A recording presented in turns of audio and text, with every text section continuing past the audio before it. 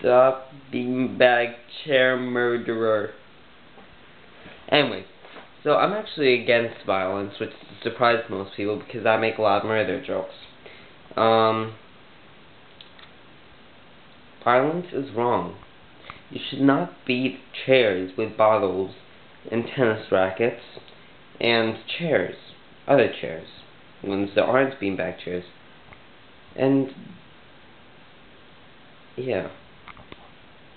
What is on my hand?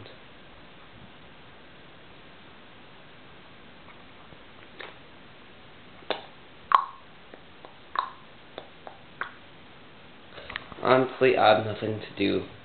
I'm bored. I'm on Facebook talking to friends. I'll go biking. I'm gonna break the fourth wall here.